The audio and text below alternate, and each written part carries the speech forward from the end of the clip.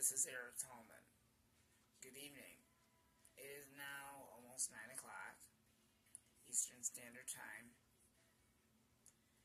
in Michigan. And I just wanted to tell you that today has just been a very frustrating day. Today has been very exciting.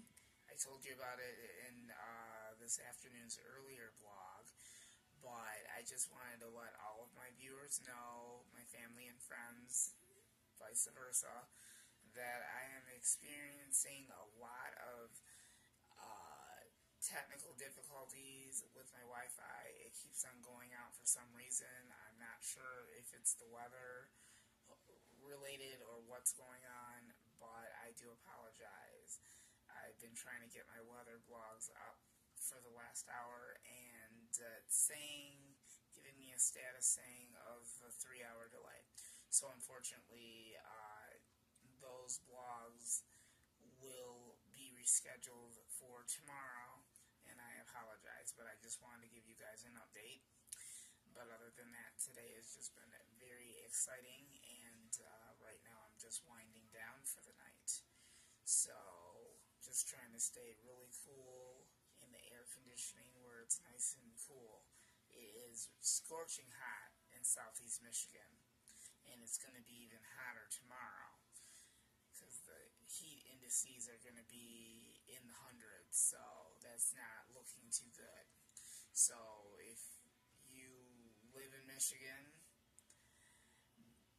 be prepared to uh, fill up on a lot of fluids. My best suggestion, my best recommendation is to drink a lot of water.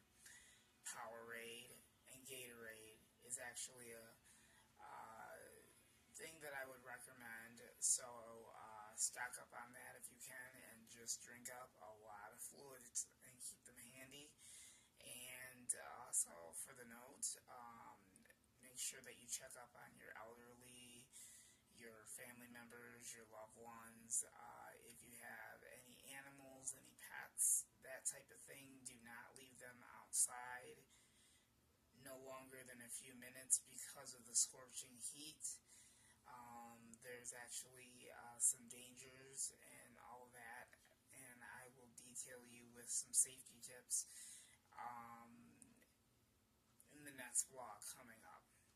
So everyone stay cool, everyone continue to keep those fluids handy, and I will have some safety tips on what you should avoid and not to do when the weather is extremely dangerously hot and what uh, you should do to protect yourself from dangerous weather conditions.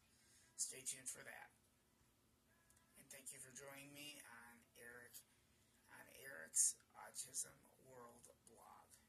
We'll see you in the next 45 minutes.